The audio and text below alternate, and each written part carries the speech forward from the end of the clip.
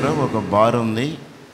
చాలా దూరంలో ఉన్న బారులో ఆ బారు రోడ్డుకి అడ్డం వచ్చిందని దాన్ని తీసేశారు. ఎందుకంటే పెద్ద రోడ్డు పడుతుంది.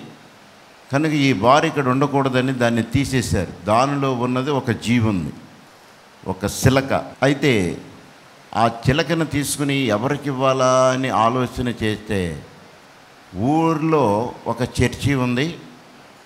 ఆ చర్చిలోకి ఇచ్చేద్దామని చెప్పి ఆ బారు మరి వాళ్ళు ఆలోచన చేసి ఆ చిలకని చర్చికి ఇచ్చేశారు. చర్చిలోకి వచ్చిన తర్వాత అది మాట్లాడే చిలక. ప్రతి వారితో మాట్లాడుద్ది పలకరించు హాయ్ వచ్చారా అంటది వెళుతున్నారా అంటది ఆ చిలక అనమాట ఈ చిలక దారిలో పెట్టారు చర్చికి వచ్చేటప్పుడు. ఆ చర్చిలో వచ్చే వాళ్ళందరితో ఆ లోపల చర్చి మెయింటెనెన్స్ చేసేవాళ్ళు ఆ చిలకతో కొత్తగా మనకి బిషప్ గారు వస్తున్నారు. అలాగే మన సంగీతము కళాకారులు వస్తున్నారు. పాటలు పాడే వాళ్ళు వస్తున్నారు. వీళ్ళందరితో నువ్వు మాట్లాడి వీళ్ళందరికీ థ్యాంక్స్ చెప్పాలి నువ్వు అని ట్రైనింగ్ ఇచ్చారు ఆ చిలకకి. ఓ అందక చిలక ఏముంది? ఓ అందక అలాగే ఉంది. మాట్లాడే చిలక కదా. సరే ఇక ఇక చర్చిలోకి ఆదివారం వస్తుంటారు కదా.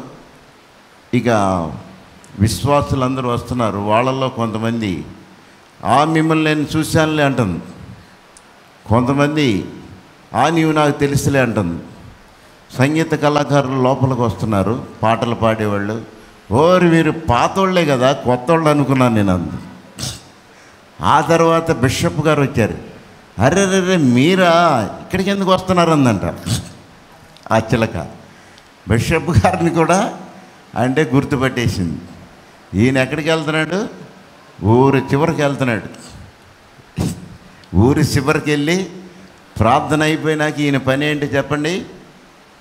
ఆ బారులోకి వెళ్తున్నాడని చిలక గుర్తు చేసి చెప్తుందనమాట కనుక అరే రే ఈ చిలక ఇక్కడెందుకు పెట్టారని అని ఆయన కంగారు పెడుతున్నాడు. కనుక దేవుని వాక్యం ఏమంటుందంటే సంఖ్యాకాండము ముప్పై రెండో అధ్యాయము ఇరవై మూడో వచనములో దేవుని మాట ఏమని తెలియపరుస్తుందో మీరు. అట్లు చేయని ఎడల మీరు అట్లా చేయని ఎడల చేయని ఎడల యెహోవా దృష్టికి యెహోవా దృష్టికి పాపము చేసిన వారు అగుదురు. యెహోవా దృష్టికి మీరు పాపము చేసిన వారు అగుదురు. అగుదురు. కనుక కనుక మీ పాపము మీ పాపములు మిమ్మును పట్టుకొనును. మిమ్ములను పట్టుకునునని మీరు తెలుసుకొనుడి.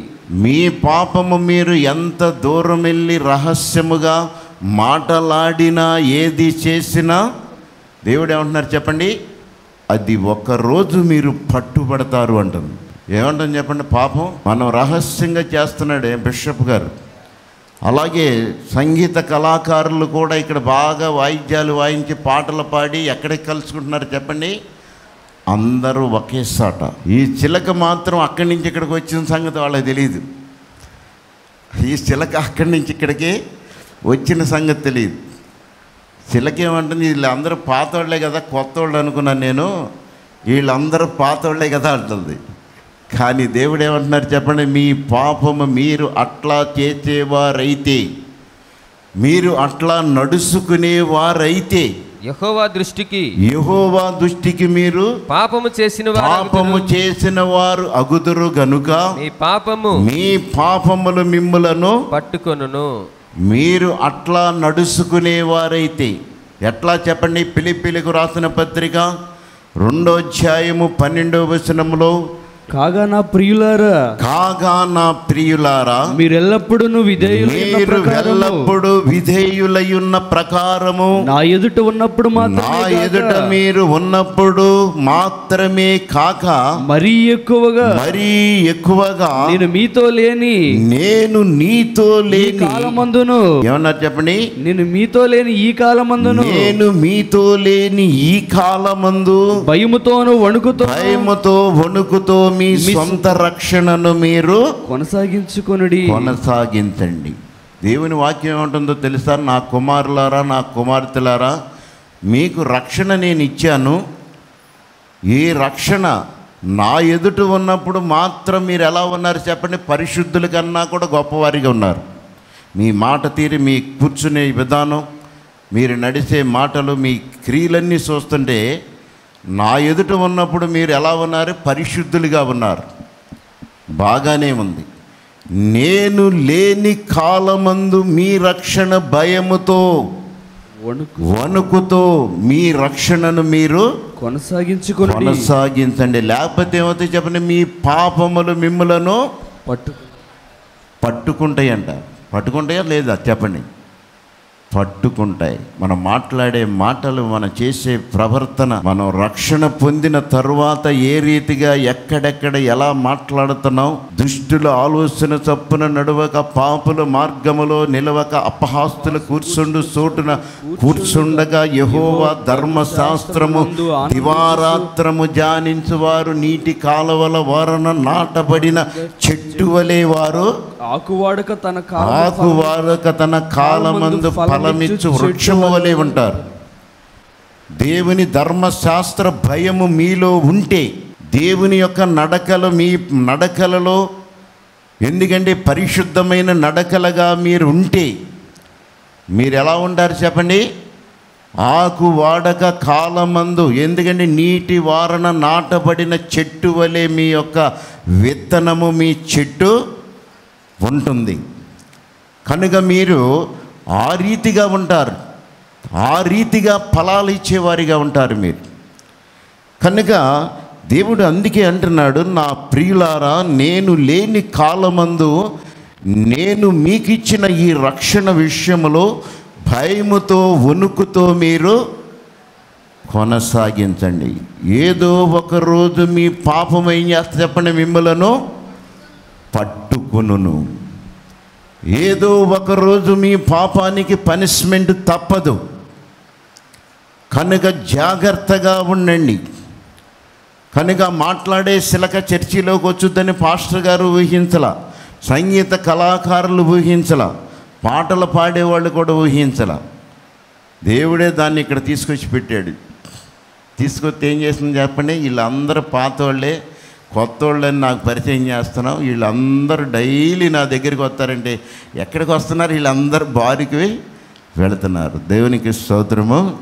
హరళ కనుక దేవుని సన్నిధిలో నీ ప్రవర్తన ఎలా ఉండాలి చెప్పండి? అవునంటే అవును కాదంటే కాదుగా ఉండాలి. కనుక దేవుని మందిరానికి వెళ్తున్నాం మళ్ళీ వెళ్తున్నాం అక్కడికి వెళ్తున్నాం విగ్రహారాధన దగ్గరికి వెళ్తున్నాం మళ్ళీ అక్కడ తింటున్నాం ఒక మొక్కు మొక్కుతున్నాం ఒక ఎగిరి ఎగిరి ఒక గంట కొడుతున్నాం అక్కడికి వెళ్ళి అక్కడ గంట ఇక్కడికి వచ్చి ఇక్కడ గంట. దేవుడు ఏమంటున్నారు చెప్పండి ఈ గంటలన్నీ కూడా ఒక రోజు లెక్కించబడతాయి. కనుక దేవుడు జీవము కలిగిన దేవుడు భూమి ఆకాశములను కలగ చేసిన దేవుడు సృష్టికర్త అయిన దేవుడు నీ జాతకం మారాలంటే నీ బ్రతుకు మారాలి అంటే నీవు ఒకవైపునే ఉండాలి.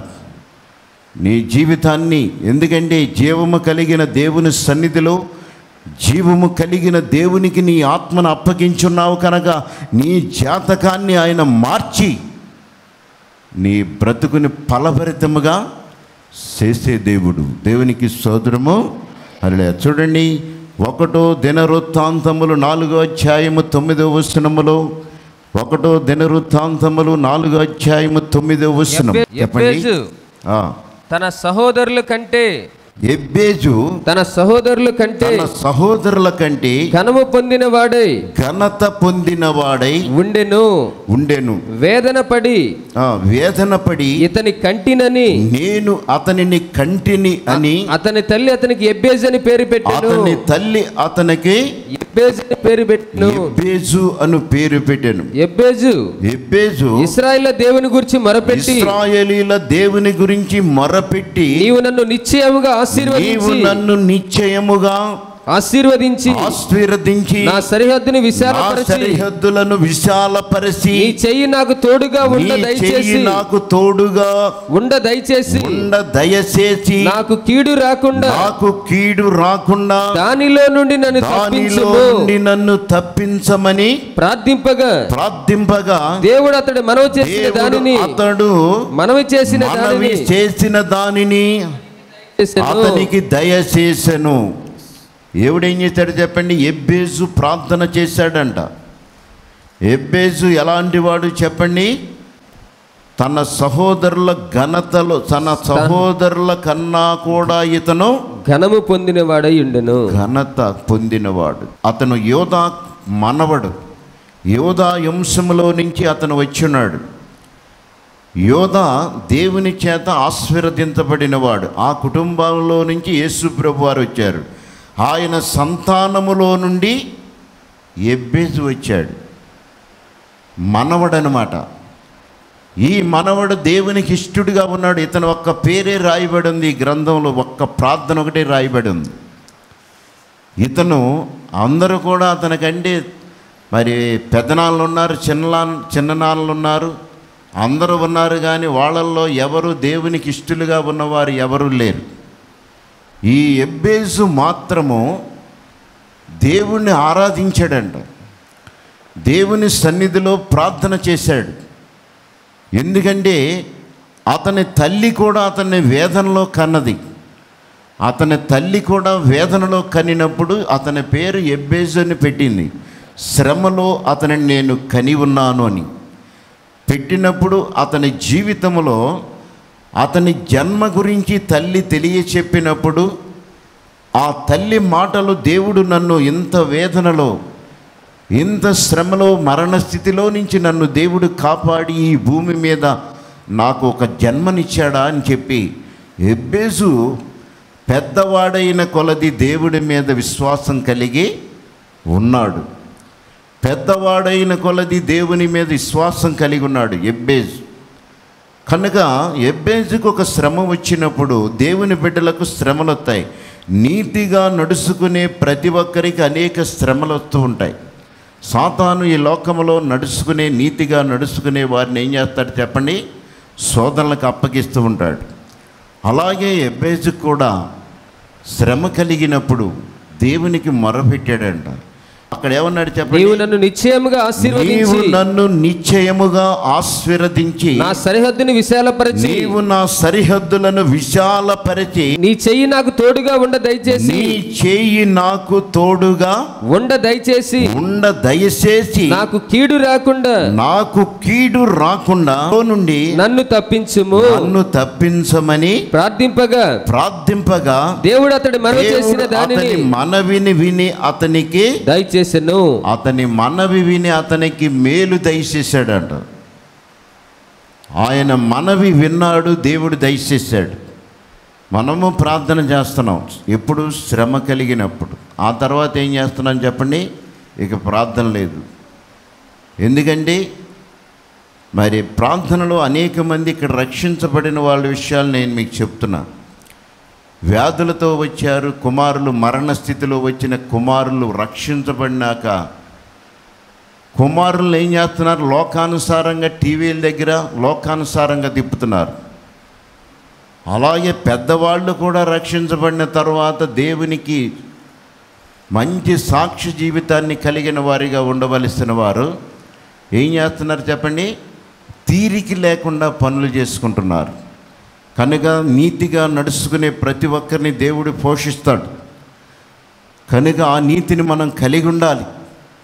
లోకంలో అవినీతి పిచ్చిరిల్లిపోతుంది. కొద్దిగా దేవుడు అధికారం కొద్దిగా ఒక హోదా రాగానే నా అంత గొప్పోళ్ళు లేరు నా అంత జ్ఞానులు లేరు నా అంత తెలివి కలిగిన ఆడది లేదు నా అంత తెలివి కలిగిన మగవాడు లేడని విర్రవీగిపోతున్నారు. చూడండి దేవునికి అసాధ్యమైనది ఏదైనా ఉన్నదా? నీకు ఆ స్థితి వచ్చేదాకా నీవు ఆ మాట వింటము. వింటే నీకు ఆ స్థితి రానే రాదు. ప్రతి వారికి హెచ్చరికలు ఉంటాయి మన హెచ్చరిక చేస్తాడు దేవుడు. నా కుమారుడా నా కుమార్తె ఈ మార్గంలో నీవు వెళ్ళకూడదు. చేయరాని పనులు చేయరాని కార్యాలు చేస్తున్నావు. నా ఆత్మ గెహాజీ మీద ఏముంది చెప్పండి? ఎలీషా ఏమన్నాడు చెప్పండి? ఎలీషా గెహాజీ నీవు ఎక్కడి నుండి వచ్చావంటే నేను ఎక్కడికి వెళ్ళానయ్యా? నీ ఆలోచన నీకే అంత భ్రమ కానీ అన్నాడు. భ్రమ? నా ఆత్మ నీతో రాలేదా?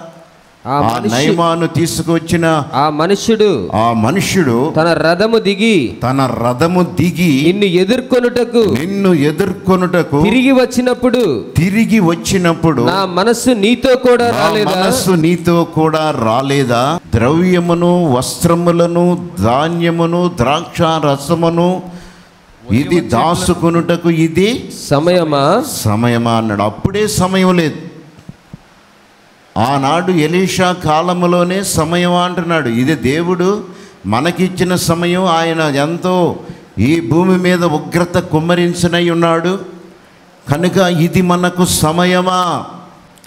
గెహాజీ ఎందుకు ఇలా చేశావు?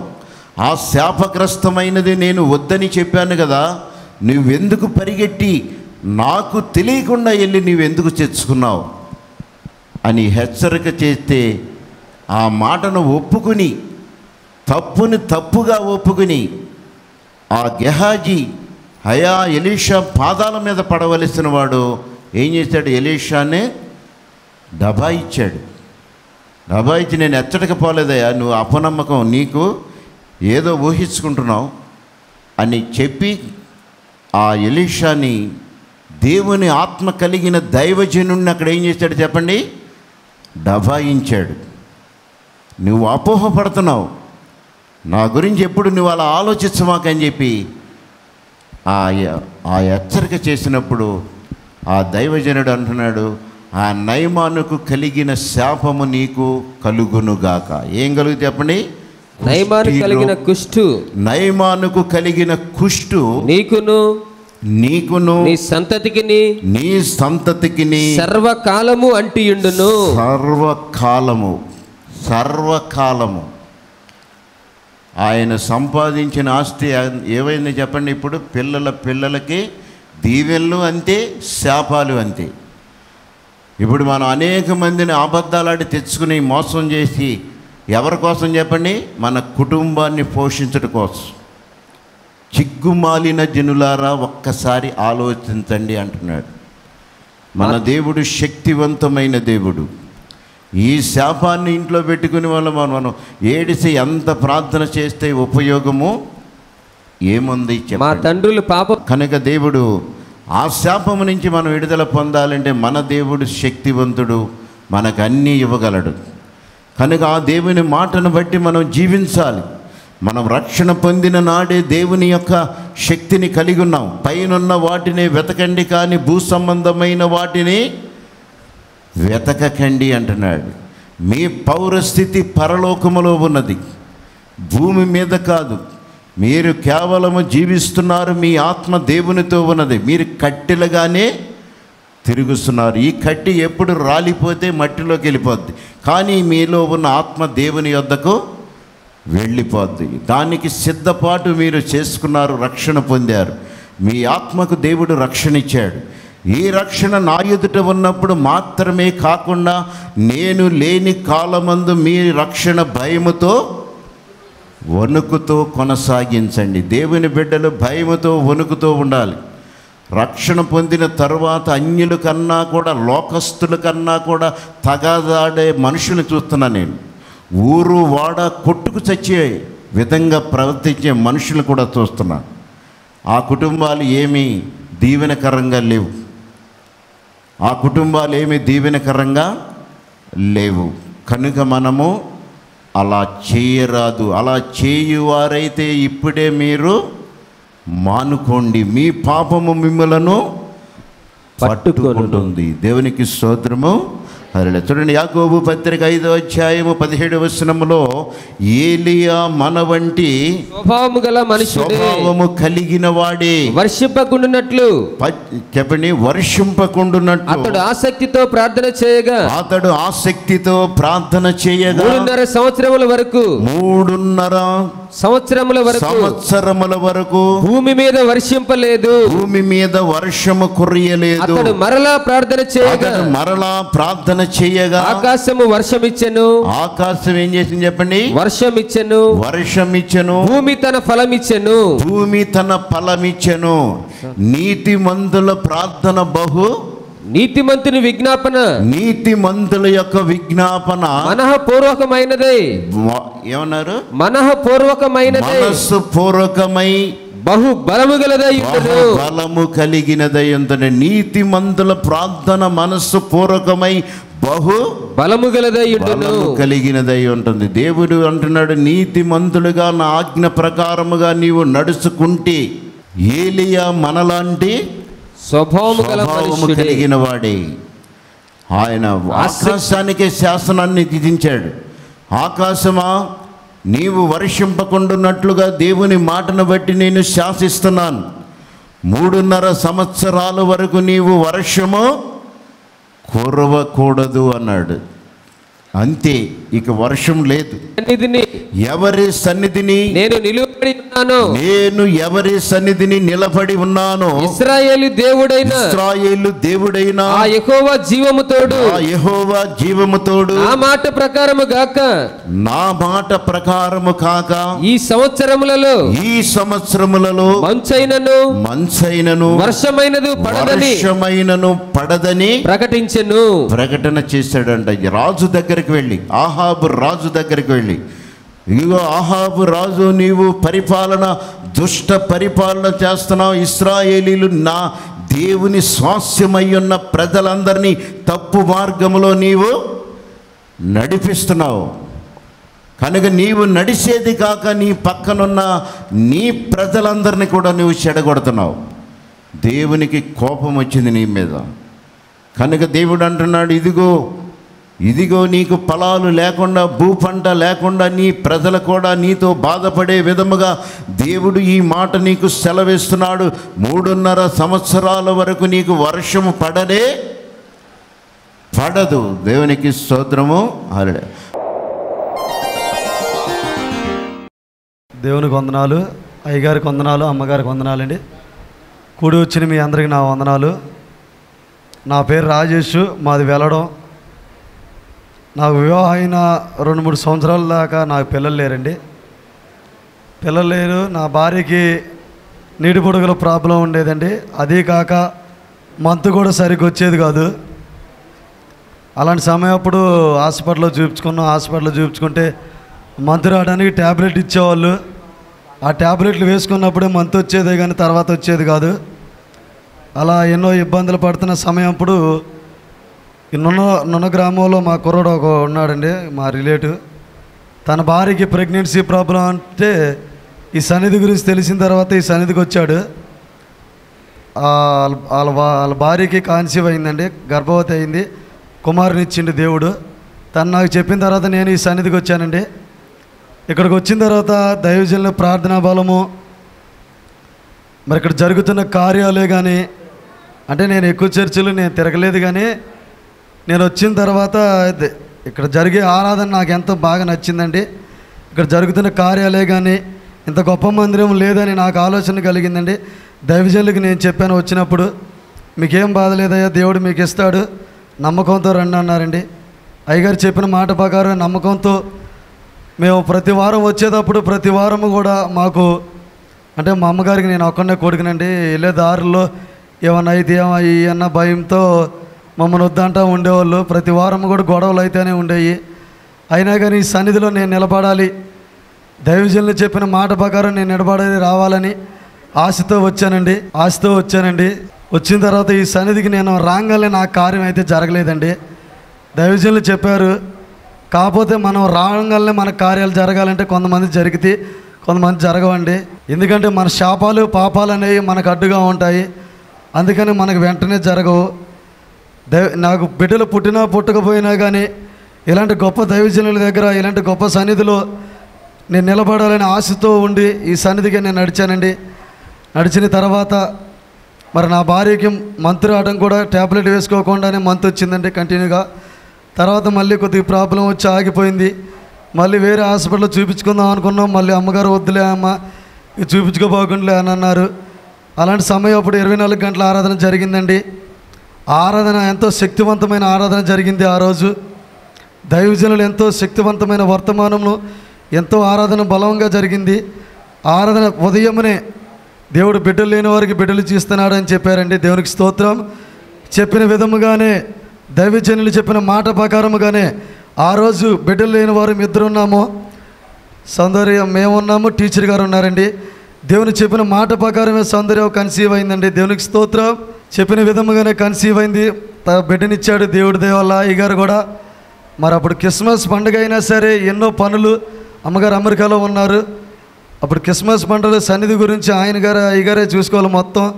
అయినా కానీ ఎన్నో పనులు తిరుగుతున్నా కానీ డెలివరీ అప్పుడు వచ్చి ఎంతో ధైర్యము చెప్పి తల్లిదండ్రులాగా మమ్మల్ని ఆదరించి కాపాడారు. అందుని బట్టి దేవిజనులకు వందనాలు అమ్మగారికి కూడా వందనాలండి. ఒక బిడ్డ కోసం వచ్చానండి నేను అంటే బిడ్డ పుట్టితో పుట్టదో నాకైతే తెలియదులే కానీ ఆశతో వచ్చా. నా ఆశని దేవుడు దైవజనులు చేసిన ప్రార్థనా బలం వల్ల వాడు గిఫ్ట్గా ఇచ్చారండి దేవుడు. ఒక బిడ్డ కోసం వస్తే రెండో బిడ్డనిచ్చాడు దేవుడు. ఆ బిడ్డ నాకు పుడతాడని తెలియదు అసలు మళ్ళీ రెండో బిడ్డ నాకు పుడతాడని తెలియదు నా భార్యకి మంత్ వచ్చిద్దని కూడా నాకు తెలియదండి. బిడ్డలు లేని లోటు నాకు తీర్చాలే దేవుడి సన్నిధిలో అనుకున్నాను నేను. మళ్ళీ బిడ్డలు పుడతారన్న ఆశ కానీ నాకు ఉండేదే కాదండి. అలాంటి సాంపుడు దేవుడి దేవాల అయ్యగారు అమ్మగారు ప్రార్థనా బలము వాళ్ళు చెప్పిన మాట ప్రకారం నేను నడవటం వాళ్ళ ప్రేమానురాగాలను బట్టి వాళ్ళు చేసిన నా గురించి ప్రార్థన బట్టి దేవుడు కార్యం జరిగించాడని నేను నేనైతే మగబిడ్డ పుట్టాలి ఆ బిడ్డ పుట్టాలని అడగలేదు కానండి. అమ్మగారు ఎప్పుడు చేసినా కానీ ఒక మగబిడ్డని దయచేయని చేసేవారు. అలాగే డెలివరీ అప్పుడు కూడా ఒక మగబిడ్డని అని అమ్మగారు చేశారండి. అమ్మగారు చేసిన ప్రార్థన బలాన్ని బట్టి దేవుడు మరి డెలివరీకి వెళ్ళి ఎప్పుడు వెళ్ళిందో నాకైతే తెలియదు కానీ మా అత్తయ్య గారు కొద్దిసేపటికే వచ్చేసి మగబిడ్డ పుట్టిందని చెప్పాడండి. దేవునికి స్తోత్రం. అయితే ఇచ్చిన బిడ్డని దేవుడికి ఉపయోగపడాలి ఉపయోగ దేవుని కొరకు ఉపయోగించాలని నేను ఆశపడుతున్నానండి. ఈ బిడ్డని దేవుని కొరకు ఉపయోగించాలని నేను తీర్మానం చేసుకున్నా. ఆ బిడ్డని దేవునికి ఉపయోగపడేలాగా చేయాలని మీరు కూడా ప్రార్థన చేయండి. నేను ఎంతో గౌరవపడతానండి. ఎందుకంటే నాకు ఇలాంటి తల్లిదండ్రులు నేను దొరికినందుకు నేను ఎంతో ఎంతో ఆనందపడతానండి. వాళ్ళ కొరకు ఏదైనా వదిలేసుకుంటానికి నేను సిద్ధపడే ఉన్నాను. కాకపోతే కొన్ని కారణాల వల్ల నేను వదలలేకపోతున్నాను. ఎప్పుడో ఒకప్పుడైనా సరే వాళ్ళు చెప్పిన మాట ప్రకారమే వాళ్ళ దగ్గరే ఉండాలని ఆశ వాళ్ళు వాళ్ళు చెప్పినంత కాలం కూడా వాళ్ళ ఏమిటే ఉండాలని ఆశ నాకు. అలాగే ఈ సన్నిధిలో ప్రతి ఒక్కరము కూడా మనందరము ఐక్యతతో ఉండాలని ఎన్నో కార్యములు వాళ్ళు చేసిన ప్రార్థన బలమే మనకి ఇన్ని కార్యములు పొంది ఉన్నామండి. మరి అటని ఇటని దారి తప్పి ఎలాగ పడితే అలా జీవిస్తున్నామండి. మనమందరము కూడా ఐక్యతతో ఉండాలని మన దైవజనులు చెప్పిన మాట ప్రకారం మనం కనుక జీవిస్తే పరలోక రాజ్యం ఖచ్చితంగా ఉండిద్దని నేను చెబుతున్నానండి. అయ్యగారు అమ్మగారు చెప్పిన మాట ప్రకారం మనం నడిస్తే పరలోక రాజ్యం ఖచ్చితంగా ఉండిద్దండి. దానికి సాక్ష్యం మనందరము ఉన్నామండి. ఈ గొప్ప సాక్ష్యాన్ని దేవుడు దీవించిన కాక